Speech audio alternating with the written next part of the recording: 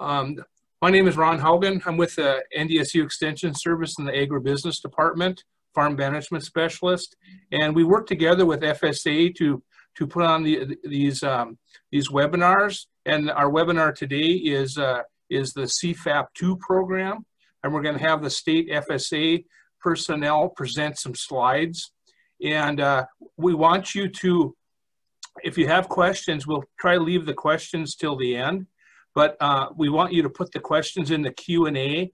Uh, on the bottom of your screen, there should be a Q&A section where you click on that and you can, you can, uh, uh you can um, enter your question and we will try answer the questions. Um, we, we were scheduled for two hours, but we probably will be an hour plus uh, the way it looks and depending on how many questions. So uh, with that, I think I've covered everything. Um, just make sure, and, and, and, I think we have you all muted and um, and uh, and your video off, so we can we can let the presenters uh, start presenting. And there will be several of them from the state FSA office. And the first one will be Laura Heinrich, and I'll turn it over to you. Thanks, Ron and Miranda. We really appreciate NDSU's effort in allowing us um, to present this information. Um, it's a great relationship that we've been able to build through the years. Um, so what we'd like to do today is present some information on the Coronavirus Food Assistance Program 2, or CFAP 2 as we'll call it, because we always have to have acronyms in, when we talk FSA talk. So today we're going to talk about what exactly is CFAP 2, who's eligible for the program, eligible commodities, and then the different payment categories that those eligible commodities fall into such as price trigger commodities, flat rate crops, and sales commodities. And we'll go through each one of those um, in greater detail throughout the presentation. So just, I'm gonna provide some general, general information about the program. So USDA is implementing CFAP 2 um, for agriculture producers who continue to face a market disruption um, and associated costs because of COVID-19. CFAP2 will provide up to an additional $14 billion um, of financial assistance that gives the ability of those producers to absorb some of that increased marketing costs. This second sign up of CFAP builds on the assistance we provided under CFAP 1. Um, under CFAP 1 in North Dakota, we issued over $294 million to over 18,000 producers. And so this program is just really building off of that and helping producers um, who've had issues continuing throughout this coronavirus um, pandemic. We encourage producers who have continued to, to see a, a increase in um, their marketing um, issues with their crops. We encourage them to apply for CFAP2. Uh, during the first round of, of the coronavirus program, um, USDA listened to producers and really took that feedback and tried to um, implement another program that would fill some of those holes that were missed under the first program. As a result, CFAP2 has been adapted to better address the impacts to farmers and ranchers, and many more commodities are eligible than under the first program.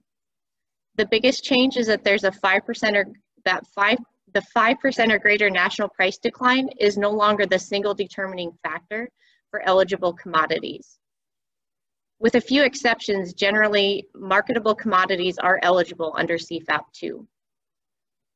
Commodities that are now covered under, under CFAP 2 that were not covered under the first program are hemp, uh, broilers from non-contract non poultry growers, shelled and dry eggs, turkeys, bison, all classes of wheat, and many more commodities, including dry edible beans, honey, and we'll go through the rest of the commodities that are now eligible as we go throughout the presentation. Another change is that participants will receive 100% of their eligible payments right away. Um, under the first program, we only issued 80% and then issued an additional payment later. Under this program, um, we will issue 100% of the payments um, as soon as that application is able to be approved. These payments also are not, um, will not be withheld to satisfy prior USDA debt, nor are they offset by Treasury. So sign up began on September 21st of 2020 and it goes through December 11th. So we have a, um, just under a month for you to come in and apply if you haven't already.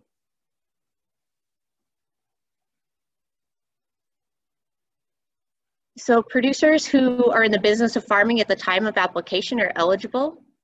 And those producers must also have risk in the production of eligible commodities that fall under those three um, categories that we talked about earlier. That first um, category of price trigger, trigger commodities, um, those commodities are 5% or greater market price, uh, incurred a 5% or greater market price decline between the average of mid-January 2020 in a comparison to the average of late July 2020. The commodities that fall in the flat rate crops did not meet that 5% decline trigger and do not or do not have data available to determine if they had a 5% decline. And then the last um, category is the specialty sales-based commodities. And those sales-based, those are sales-based approached commodities where producers are paid based on a five payment gradations associated with their 2019 sales. Producers will need to file the, the following forms. The application is, is an AD 3117. In addition to that, there are the specific eligibility forms that'll need to be um, completed, such as the farm operating plan and associated forms. And Ron Duvall will cover those in just a minute. We also have AGI or adjusted gross income certification forms and highly erodible and wetland certification forms that'll need to be completed. So producers will apply, they'll, they're only gonna file one application nationwide. It is a certification-based program, so producers will just certify their uh, commodity information on the application, and the only time they'll need to provide documentation is if they're selected for spot check or the county committee, the local county committee would request um, documentation prior to approval of their application. They can submit that application to any USDA service center in the United States, but the recording county or their control county is the county that's responsible for acting or approving or disapproving that application. This is what the application um, looks like. The part A is the producer agreement where the producer, um, it gives all of the, the requirements for the program and explains what the producer is certifying to when they sign the application.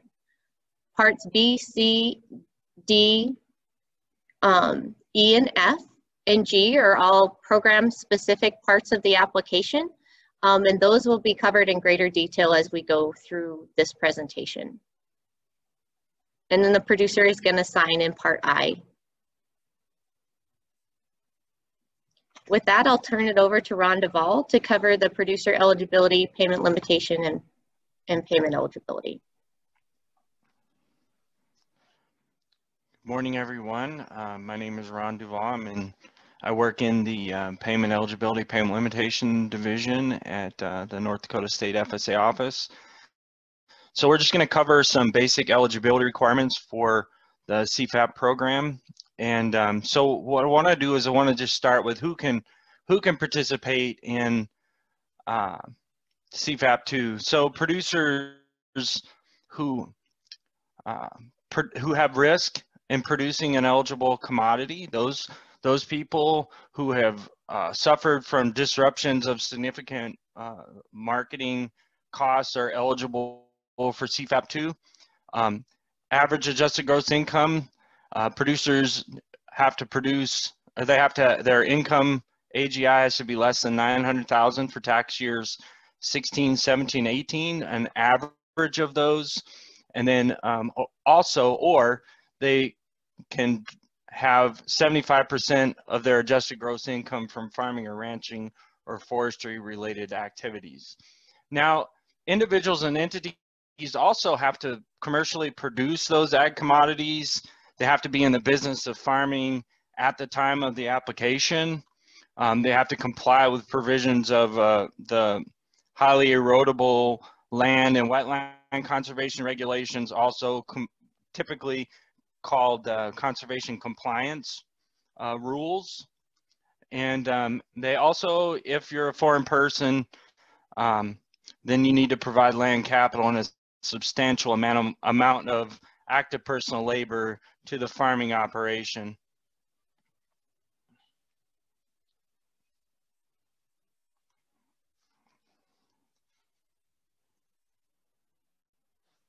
Um, you also cannot have a controlled substance violation. And then just one reminder is that contract growers are not eligible for CFAP 2. And, and the difference between a contract grower and a, and a and someone who's growing a, a crop with a contract is that the that producer who has who has marketing contract to sell a crop is not considered a uh, contract grower, but typically a contract grower owns a facility, but they don't own the commodity. So if you own the commodity, you have a contract, you're you're eligible producer. But if you if you don't own the commodity, you're just growing it, you're ineligible for that.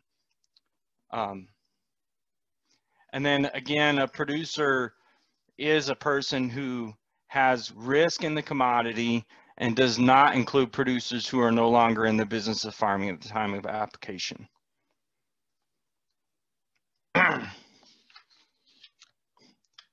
All right, so participants, participation in CFAP 1, the, the program that we had run previous to this, does not make you ineligible for CFAP 2. And if you didn't apply for CFAP 1, you can still apply for CFAP, CFAP 2. Um, new producers who may not have historical sales or records can still apply, and that does not include producers um, that, inc that are no longer in business of farming at the time of the application. So the payment limitations, the limit, um, there's a limit of 250,000 per person and legal entity that applies to the total payments for all eligible commodities.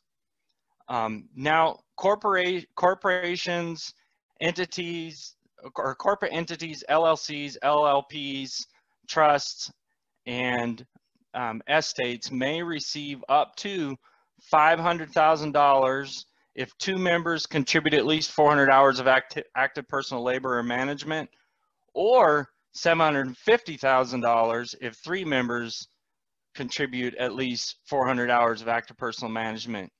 Um, and, and again, the CFAP 2 payment limitations are separate from CFAP 1. And we're going to go through just a little bit of discussion about this for corporations, entities, LLPs, and so on. We're going to go through a little bit of discussion about that here in a minute. But just a reminder here, CFAP 2 limitations, 250,000 per person or legal entity. Um, it's a separate payment limitation for C from CFAP 1.0. And then we're using the 2020 farm business file and our FSA 2020 records for determining eligibility. Now, what I was talking about a minute ago was there's this optional increase. So the payment limit for a corporation is, um, or, or, or, an entity is uh, 250,000. But what, what there is, is we have this optional increase in payment limit that's available to corps, LLCs, LPs, uh, trusts, and estates. And that those those additional payment limits are available when members or partners, stockholders, heirs, or beneficiaries, um, they contribute 400 plus hours of active personal labor or active personal management to the farming operation. This is the same, the same rule that we had during the previous coronavirus food assistance program one that we ran. So with this optional payment limit, like I, like I discussed a few minutes ago, um, what happens is that we can add $250,000 per producer up to three entity members, allowing up to a $750,000 payment limit. So what? So if we have two entity members that provide 400 hours of labor, active personal labor or active personal management, then the, the payment limit increases to 500,000 and then and subsequently with three entity members um, providing 400 hours of active personal labor, active personal management, that payment limit increases to $750,000.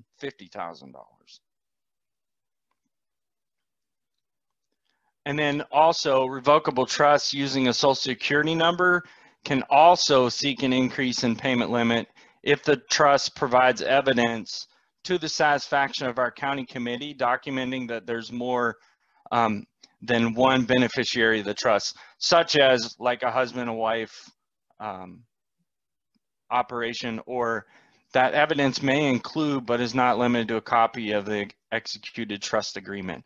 This is um, a little different from what we've done in the past. Okay, so one thing that I wanted to wanted to touch on from the last coronavirus program that we ran and the and the current CFAP 2 is that payments to persons and legal entities are attributed according to the rules laid out in uh, 7 CFR Part 1400. But there's there's an exception, and uh, the payments to legal entities qualifying for those will be limited to the lesser of 500,000 or 750,000 or the sum of the amount of each eligible entity member may receive regardless of the ownership share. And so before with CFAP 2, before this current coronavirus food assistance program, um, shares were limited to the or, the, or the payments were limited to the amount of the shares of the individuals within the, the entity. So if you had like a, um, you had a, several members, we'll just go through this example here. So previously, ABC Corp payment limit increased to 500,000 based on two members, and each member, one member one had 90% ownership share, member two had 10% ownership share. So we increased the payment limit only up to their 10% share and 90% share. So you can see when we go through this decision or, or through where this case, um, member one's attribution amount of 250,000 is is basically lowered because we're taking 90% of the 500,000 to 450,000, not, and then that would not exceed 250,000, and the member attribution is 50,000 um, based on the 10% share. So what we're looking at here is that the total payment to this producer for ABC Corporation is now going to be 300,000 based off of their shares in the entity, the 250,000 plus the 500,000. So now the way that the the way that the um, rules were changed with the CFAP 2 program is that we're not looking at the 90% ownership and the 10% ownership anymore. We're just looking at the $250,000 payment limit. So in, in this case, that same situation, the producer, each producer is going to earn $250,000 payment limit if they provide the 400 hours of labor. So now where the first first round, the producer would have earned 300,000. Now that producer, that operation is going to earn 500,000 because we're not looking at the share. Now, I want you to understand too that these rules are going back to CFAP 1.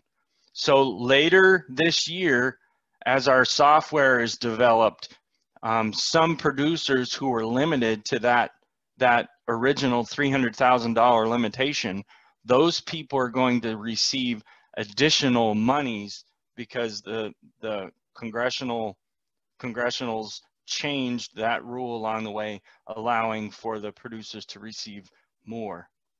So we're going to go through one more example, and this is a uh, corporation or an LLC with embedded members within it. So, um, so we have ABC Corp, who's increased payment limit to 500,000 on two members. This is the previous payment limit rules, and as we go through, you can see that the payment limit for the um, member one LLC was 250,000. So the maximum payment that ABC Corp would receive is $250,000.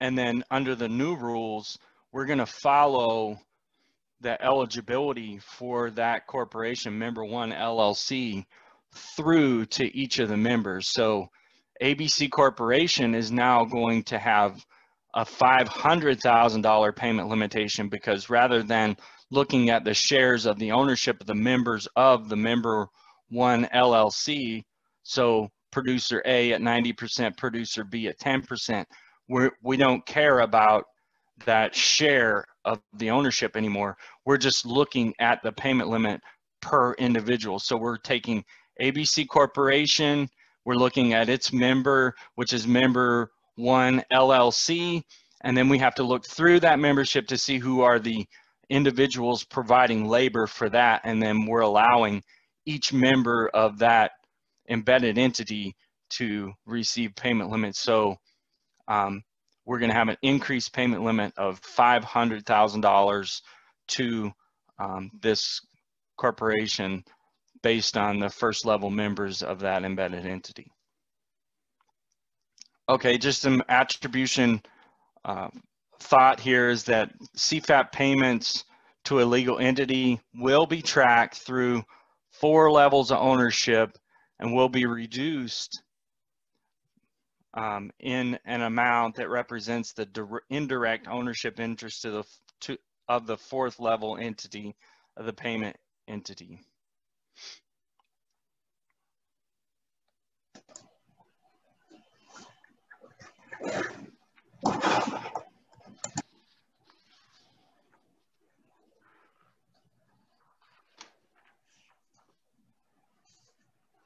All right. Well, thank you, Ron. Um, my name is Wanda Brayton, and I am the Conservation Livestock Disaster Program Specialist here at the North Dakota State Office. Um, I'm going to cover a couple of slides here on the commodity categories. Um, Laura touched on this a little bit. So again, uh, we have the, there are three major categories for payment calculations in the CFAP2 program that we're going to talk about today. Those categories again are our price trigger commodities, our flat row, uh, flat rate row crops, and our sales commodities. As we move through this webinar, um, we will cover the different types of commodities that are avail available or eligible under each type of the pat each type of payment category. So the price trigger category includes commodities that USDA has determined to have that experienced a 5% or greater market de price decline between the average for mid-January of 2020 in comparison for the average of late July of 2020. Um, eligible commodities within that category are your dairy, your milk, uh, broilers and eggs, uh, livestock, excluding any kind of breeding stock. So we'd be talking about our beef cattle, hogs and pigs, lambs and sheep. Um, and also our barley, corn, sorghum, soybeans, sunflowers, upland cotton, wheat, all of those classes. So these commodities are also listed on the farmers.gov slash CFAP website. And producers um, don't have to justify the price decline if the crops show up as eligible on the farmers.gov CFAP website, then the producers can um, apply for payment. So we'll go through each of the price trigger categories and provide some details about each eligible commodity. The first one we're going to talk about is the dairy provisions. In order to be eligible, uh, in order to be an eligible dairy operation, the dairy operation must be commercially marketing milk at the time of application. So if the dairy operation dissolves before applying for the CFAP 2, then they would be ineligible under the dairy category for the CFAP 2 program. Uh, if it's a seasonal dairies, uh, they are eligible and they can apply. For seasonal dairy operations that stop producing milk before December 31st of 2020, those producers would need to report to FSA the date they stopped production of the milk and refund any unearned CFAP payments according to the number of days in production.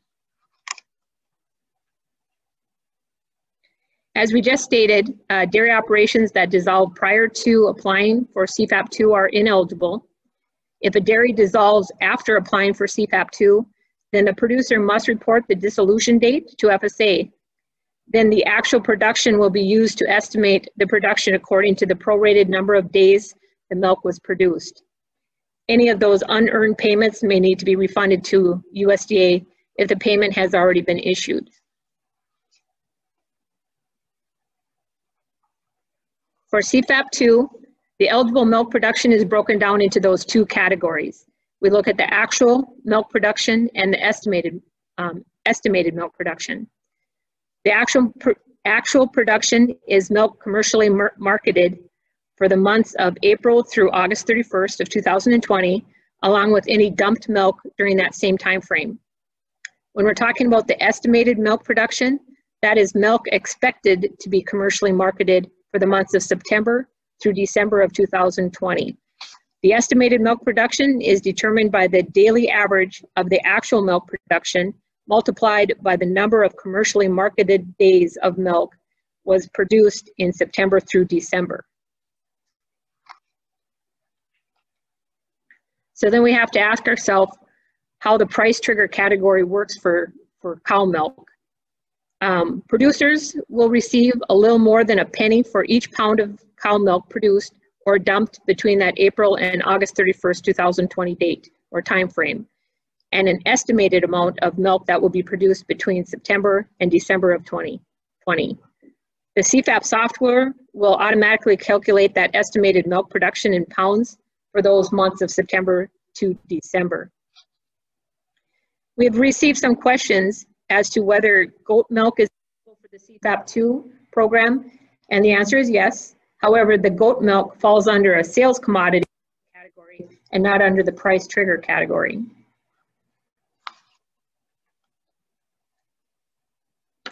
Producers will be required to self-certify to their total milk production for the months of April through August 31st of 2020.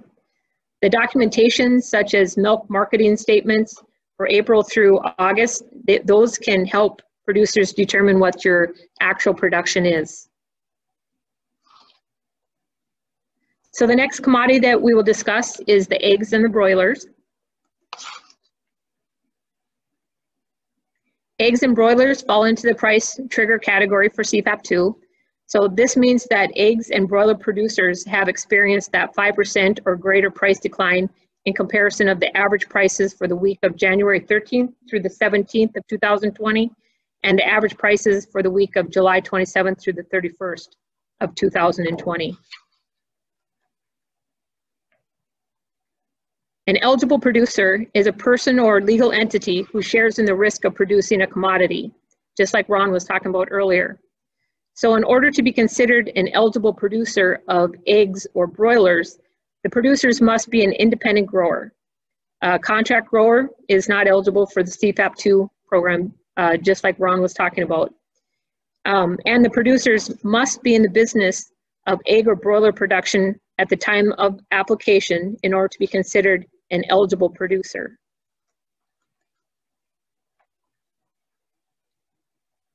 An eligible egg operation is one who commercially markets shell, dried, frozen, or liquid egg, eggs from chickens in the U.S. at the time of application.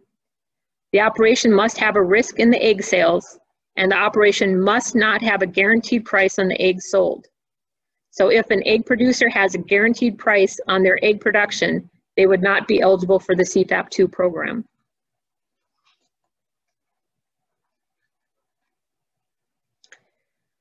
Producers must self-certify to their dried, liquid, and frozen egg production in pounds for the 2019 calendar year.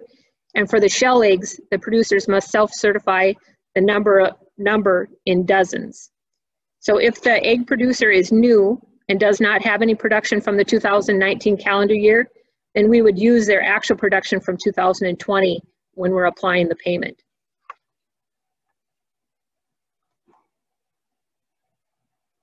The definition of a broiler is any chicken that has, has been commercially produced for meat purposes and not used for laying or breeding purposes.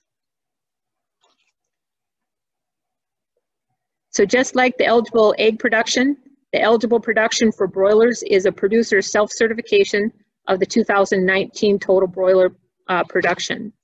And again, for the new broiler producers who began farming in 2020 um, and do not have that production from 2019, they would use their actual 2020 broiler production as of the date the producer submits a CFAP2 application for payment.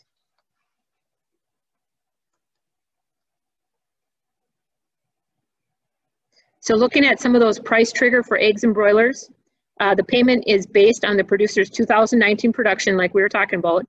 Um, and like I said earlier, producers report their egg production by dozen for shell eggs and in pounds for all other egg types. Uh, and then the broilers are reported by head. So for eggs, the conversion is from eggs to pounds. Uh, producers who sell frozen, liquid, or dried eggs in the shell to a processor can reach out to their local, local office or the CFAP call center for assistance in converting the production to pounds for their CFAP2 application.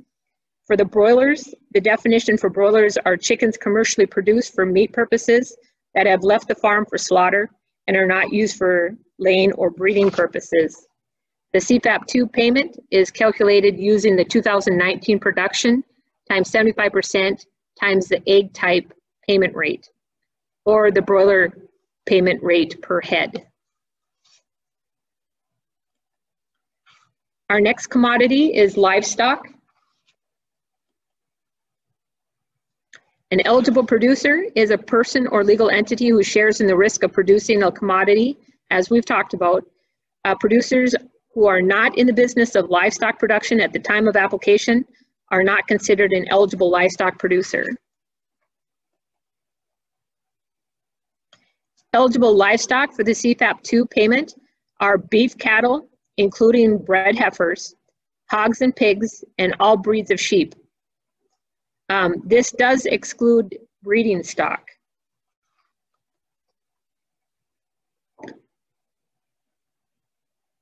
So as we just mentioned, breeding stock are ineligible for the CFAP2.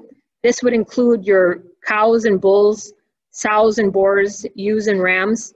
Basically, if they have ever reproduced or been used for breeding, they, they are ineligible for the CFAP2 program. Also ineligible livestock include dairy cattle and equine, uh, companion animals, or animals raised for hunting or game. And also, what, as we stated a couple times now, the contract growers are not eligible for CFAP 2, but keep in mind that a marketing contract to sell a crop owned by the grower is not considered a contract grower. Any livestock not meeting the definition of an eligible commodity for CFAP 2 purposes are also considered ineligible. CFAP 2 for livestock, like we said, include the beef, cattle, the hogs, sheep, uh, pigs, lambs. All ages and weight ranges are paid at the same rate, and those livestock must be produced in the US. Payments for livestock will be equal to the highest inventory of the specific livestock on a date, on a date selected by the producer from April 16th to August 31st, 2020, multiplied by the applicable payment rate per head. So with that, I'm going to turn it over to Brian Haugen.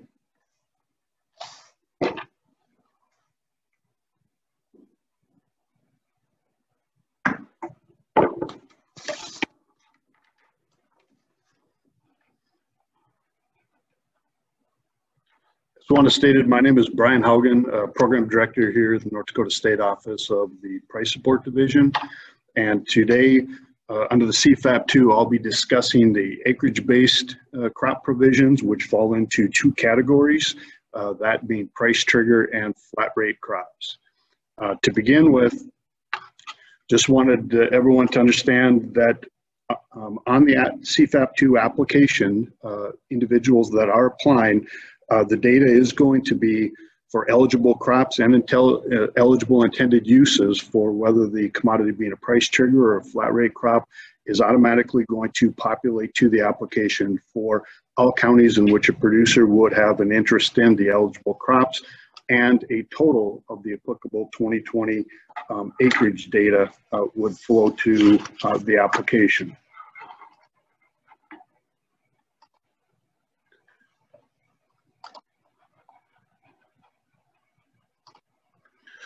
Uh, the first item that we're going to discuss uh, of the two uh, categories under the acreage-based crops is price trigger crops. And with that, uh, on our screen identifies uh, eight commodities that were determined by the department to have a 5% or greater um, uh, price decline.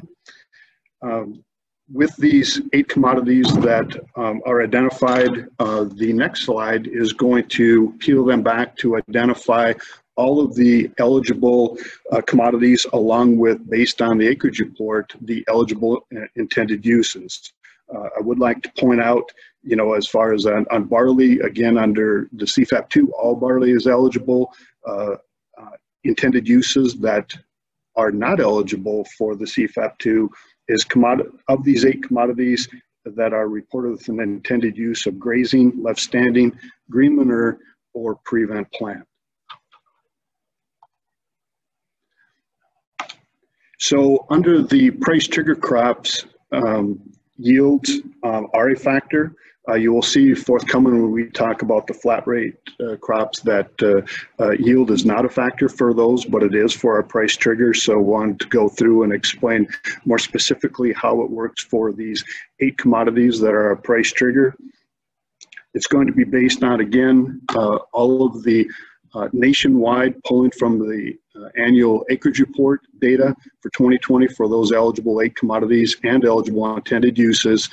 And then that will be multiplied by the weighted 2020 APH data uh, of the approved yield that's returned from RMA, or if a 2020 APH yield is not available from RMA, then it will be uh, the yield that will be used for the price trigger crops is going to be 85% of the weighted uh, 2019 ARC-County benchmark yield. So for these price trigger crops, how does the payment become calculated?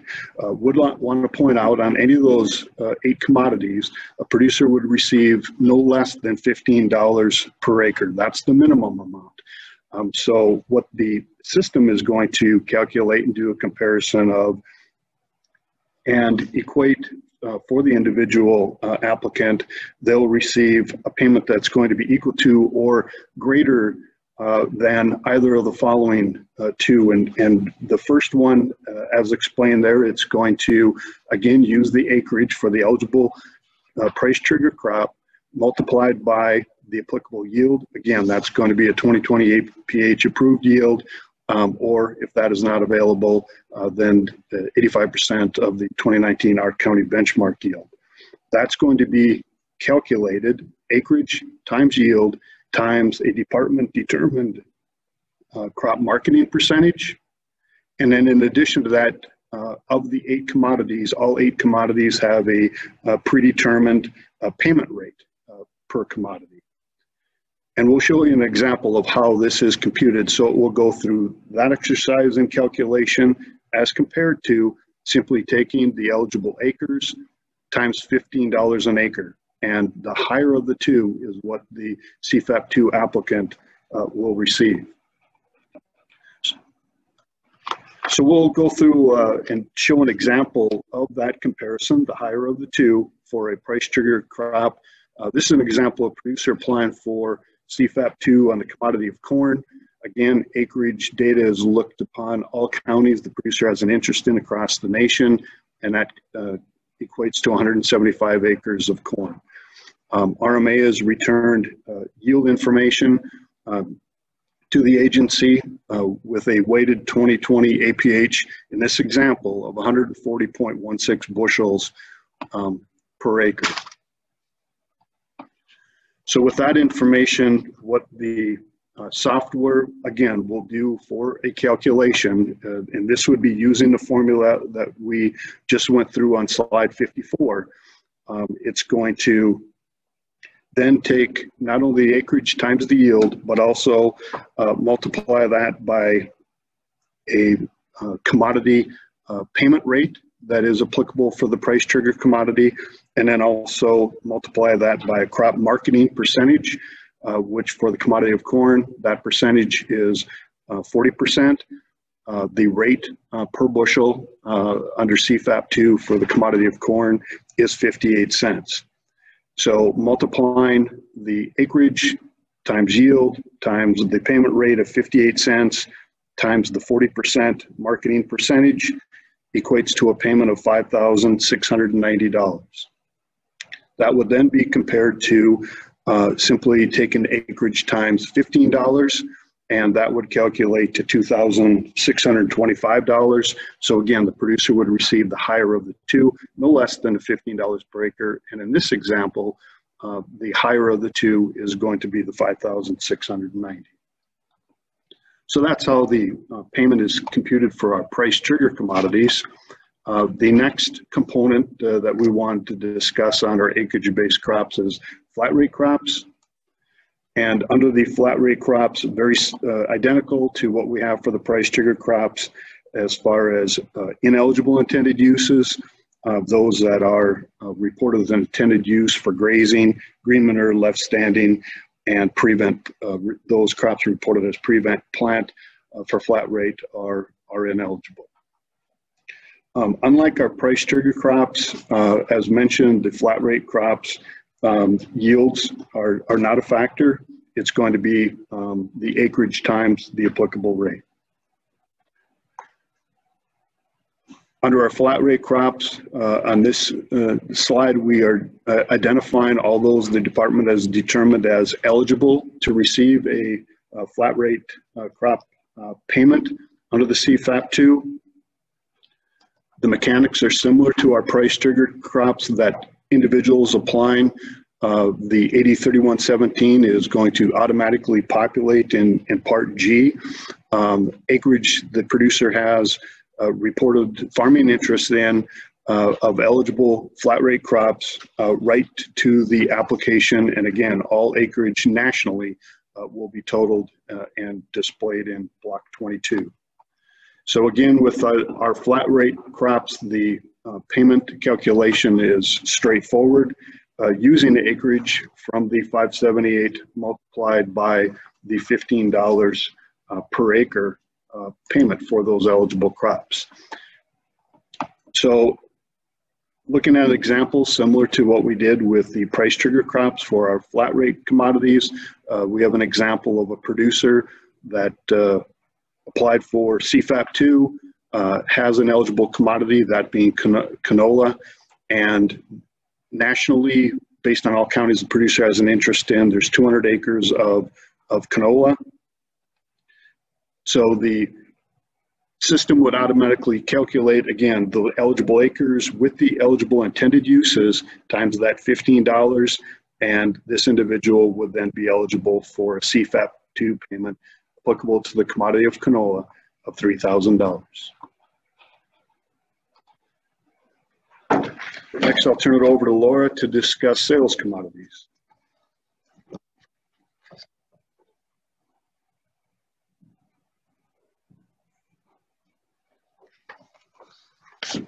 Thank you, Brian. So the last category we're going to cover is sales commodities. This category includes aquaculture, specialty crops including fruits, vegetables, and tree nuts. And in this category, this is where we've added honey, um, dry edible beans and peas, lentils, and chickpeas or garbanzo beans. So those are new crops that are added to the specialty crops for CFAP 2 in comparison to CFAP 1. Um, we also cover nursery crops and floriculture, floriculture under sales commodities, and then livestock grown for food, fiber, fur, feathers, including alpacas, emus, llamas, bison, buffalo, beefalo, deer, elk, um, and the remaining of those uh, specialty livestock listed on the screen. We also cover miscellaneous commodities such as Christmas trees, goat milk, mohair, mink, and wool and also tobacco, which would um, be applicable to our southern states. What commodities are ineligible for CFAP2? Any breeding stock are ineligible, equine, companion or comfort animals or pets, commodities pr produced by contract growers, or livestock raised for hunting or game purposes are ineligible for CFAP2. So to be eligible for um, a sales commodity, a producer must either grow or produce a sales commodity in 2020. Um, once we've determined that that producer did grow or produce a sales commodity in 2020 that would have been affected by the coronavirus, then we're going to go back and look at what their 2019 sales of all sales commodities are to determine what their payment will be.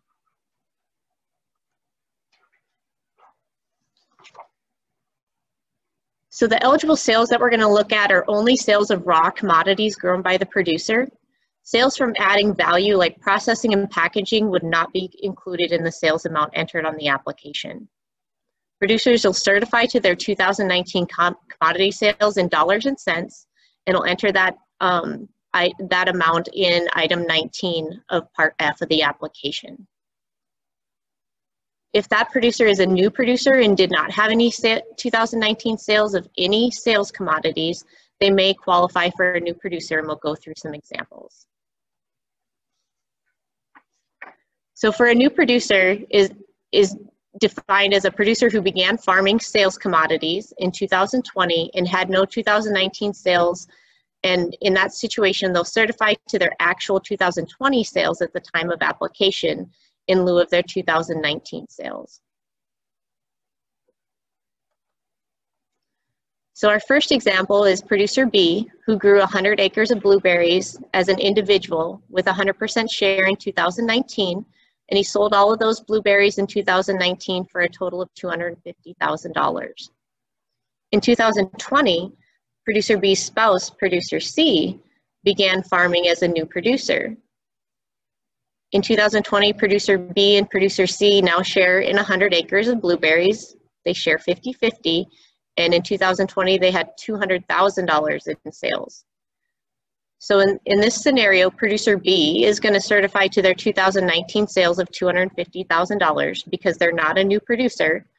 So they're going to use their, producer B will use their 2019 sales of $250,000. But producer C is a new producer of sales commodities. So in that scenario, um, producer C, the spouse, is going to certify to their 2020 sales. So in this scenario, that's $100,000 because they had 50% share of $200,000 of sales.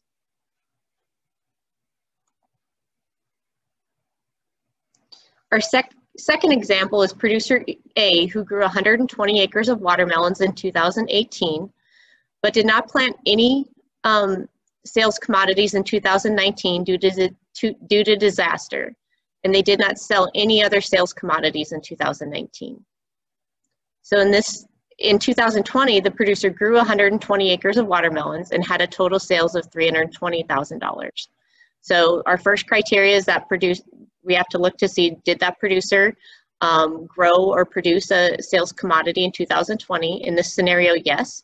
Um, the producer grew um, 120 acres of watermelon, so they have an eligible sales commodity in 2020. Now we're going to go back and look at their 2019 sales. In this scenario, the producer didn't have any 2019 sales. So then we're going to say, okay, is this producer a new producer? When we look back further into this producer's growing history, he had planted watermelon, which is our sales commodity or a sales commodity. And since this, since they had a sales commodity in previous years, they wouldn't be determined in um, a new producer. So in this scenario, producer A would certify to zero um, dollars of sales commodities because they didn't have any sales in 2019 and they're not considered a new producer.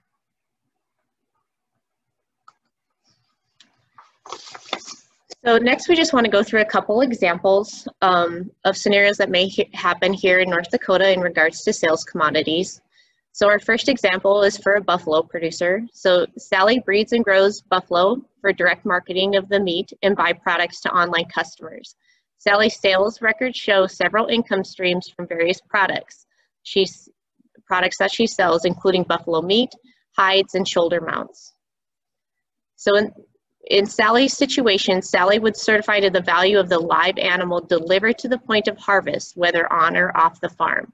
So she's going to certify to the value of that buffalo when it goes to be um, slaughtered into meat. Um, after, after delivery, there's value added by processing the animal into various byproducts. The sales of the byproducts, such as the meat, hides, and shoulder mounts, should not be included, only the value of the live animal. Our second example is grapes. So Sean grows grapes and owns a winery to process grapes into wine. Sean also buys grapes from other growers. For the CFAP 2 application, Sean should determine the value of his raw grapes at a price comparable to what was paid by the winery for similar quality raw grapes, and that's what they're going to certify to in the, on the application. He's not going to certify to the value of the wine that he sold from the grapes he grew. He's going to have to determine what the value of those grapes were in its raw form, and that's what they're to, that's what Sean will certify to on their application.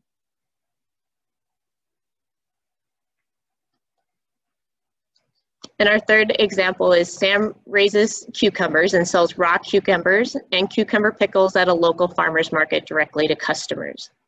The 2019 sales will be the value of the raw cucumbers sold at the market plus the raw, raw value of the cucumber pickles. Sam would use the quantity of cucumbers processed into pickles and the price of raw cucumbers sold at the market to calculate the value of cucumber pickles and that's the amount of value that they will enter, that SAM will enter onto the application um, under sales commodities. So this is an example of Part F um, on the application. So under each category, um, the producer is going to certify to their total 2019 sales of each um, different type of sales commodity. And then to calculate the payment, we'll add all of those sales commodities together. And then we're gonna apply the applicable payment factor based on the five different categories um, of sales ranges.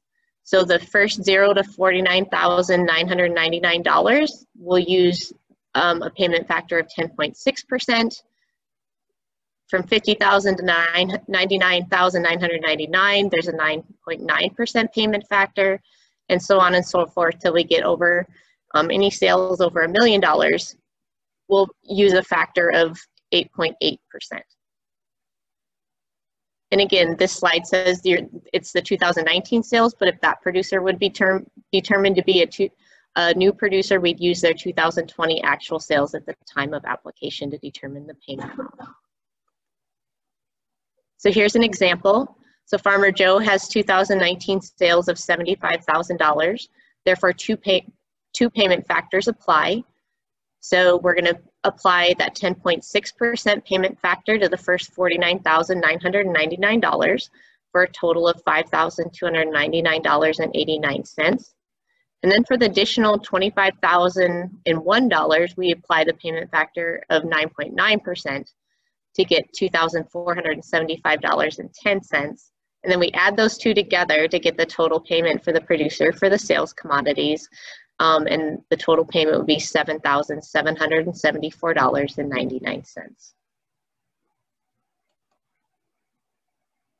So now that we've covered um, all the different eligible commodities and how the payment rates payments will be calculated, um, how do you actually apply? So if you're new to FSA, don't worry about it, especially since we just covered those sales commodities um, and you may not be a producer who is familiar with the Farm Service Agency. Um, we want you to go out and um, contact your, your local um, Farm Service Agency uh, county office. And when they, you do, they're gonna ask you for some basic information, your name and address, um, your pers some personal information such as your tax identification number because we need that to be able to pay you. Um, they're also going to go through those eligibility forms that Ron discussed earlier. And then we'd also talk to you about a direct deposit so we could give you that payment directly into your bank account. Um, and then some producers may need to file an acreage report as Brian Haugen indicated um, for the co commodities that he covered. Um, you do need an acreage report on file. If you need to find that form and you want to um, fill it out um, at home on your own, you can go ahead and download that application from uh, www.farmers.gov slash CFAP.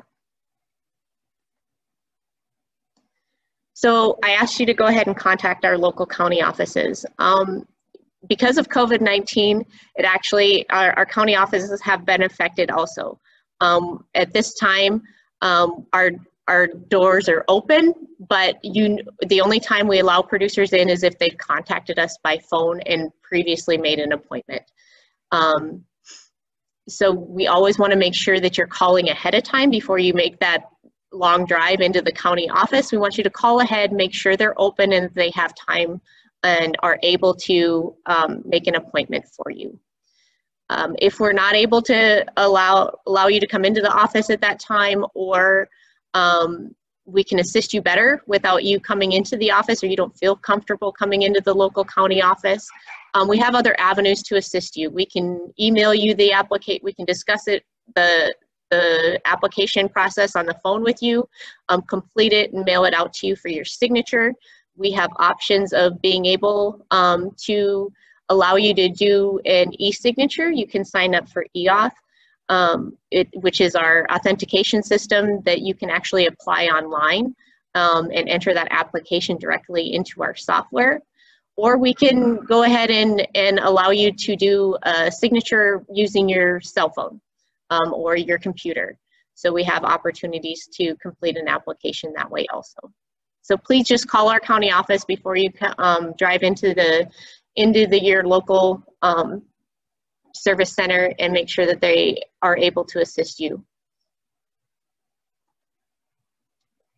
So once you've applied, um, we want to remind you that you need to keep the documentation that you used to certify um, your livestock numbers or your sales commodity um, receipts.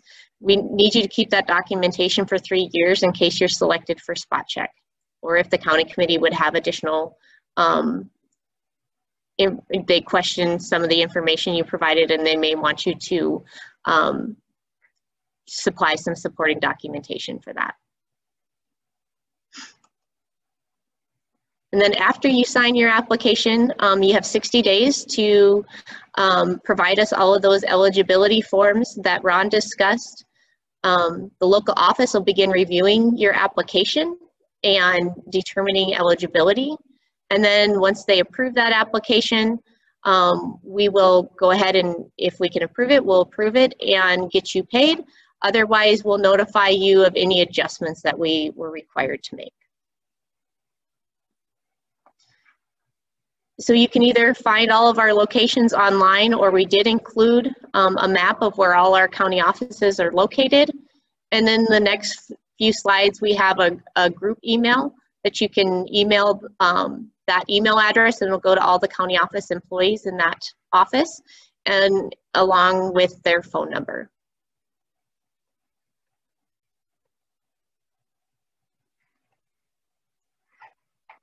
And this is just a, a, slide that has all of our different um, important uh, internet uh, websites that have the CFAP information on there. If you're questioning whether any of your um, commodities that you grow are eligible, you can go to the CFAP2 eligible commodities finder. It's a very useful tool um, at the website listed there. We encourage you to sign up for our Gov Delivery, which is um, the system we use to send out emails with important information about what's going on in the Farm Service Agency and what programs we're running and what deadlines may come up. And then you can also um, give us your cell phone number and we can send you text messages. Um, they'll be brief and we won't overload you, but it'll give you important information um, about our programs. With that, um, this is our this is a slide just listing all of the individuals who spoke today in the different program um, commodity areas. And feel free to reach out to any of us via email, um, and we will answer your questions as soon as possible. So with that, I'll turn it back over to Ron Haugen and Miranda um, to see if we have any questions that we're able to answer. Yes, uh, Laura, I see we have one question here. Um, Before uh, we get started on questions, I ha we have a couple of questions for you guys um, just to see, um, you know, get a little bit about who, who we, more information about who's who's on today, and then also um, how useful today's webinar is. Just two questions that we're going to ask you, and they should pop up on your screen now.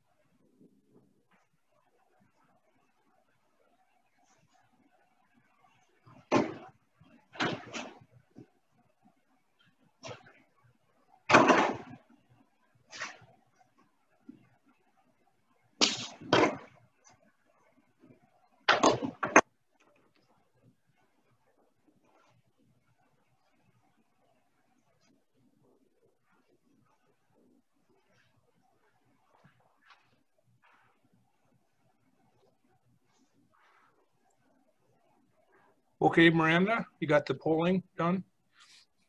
Okay, uh, this one question, I think I know the answer, but I'll address it to Laura.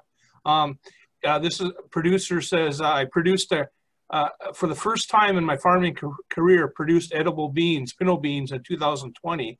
And I have not, I have no 2019 prior year's production. I understand I have to sell the 2020 production by December 11th, or I am not eligible for CFAP 2. Um, is that right? Uh, could you could you answer that? Yeah, that that is correct. So that as long as that producer would have not sold any other sales commodity. So in this scenario, they said they're a new producer to dry edible beans, but I just want to make sure that if they didn't, they could not have also they could not have produced like dry edible peas or garbanzo beans. They couldn't have produced those in previous years either. It's all they or if they had buffalo back in 2015 um, and then sold them off and now produce dry edible beans in 2020. They wouldn't be considered a new producer. So if this producer had never produced any sales commodities before um, 2020, and this year is the first year they, they planted dry edible beans, and they would then use their 2020 sales. And the producer's correct. They would have to have their sales, they'd only be able to claim the sales that they've received um, the funds for by December 11th, the deadline. Okay. Another uh, another uh, dry edible bean question. How about if you produced and sold 2018, in, produced and sold in 2018, but the money was deferred to 2019? Okay, we actually look at the date that that money is received. So in that scenario, the producer would have had to have planted a sales commodity in 2020. So they would have had to plant, let's just say, dry edible beans again in 2020 to be eligible. Once they've done that, we'll look at any sales that were received. We don't care what year that sales is from, what year crop that sales is from. So in this scenario, that producer would be able to claim those 2019 or 2018 um, dry edible beans that they received um, the money for in 2019. They will include those sales on their application. Okay.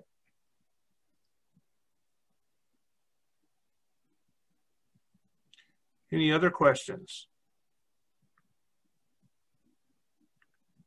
We also wanted to let you know that this is, is being recorded and it will be made available to you as well.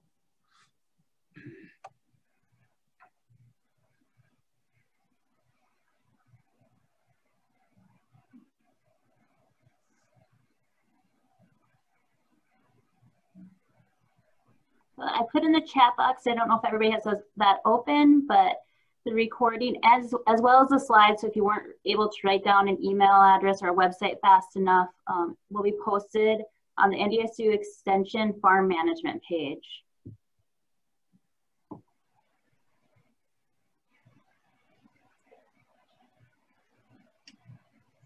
Okay, here's another uh, question. It seems that it's very unfair that I would have, have to sell my 2020 beans by 1211 as the price hit rock bottom now?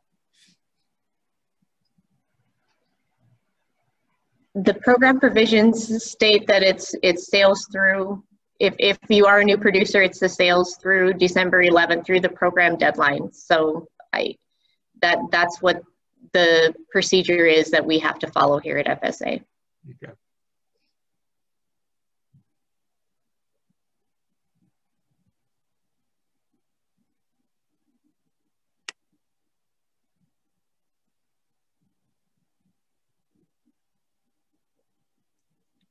Any other questions? Here we go.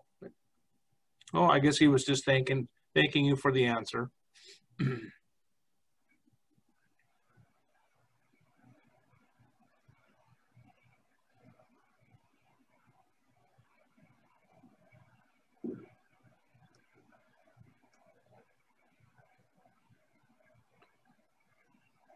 Okay, I guess that's probably exhausted our time for questions here. Uh, if I, I don't hear, don't see any other questions, I guess we can, we can call it, call it, call an end to it.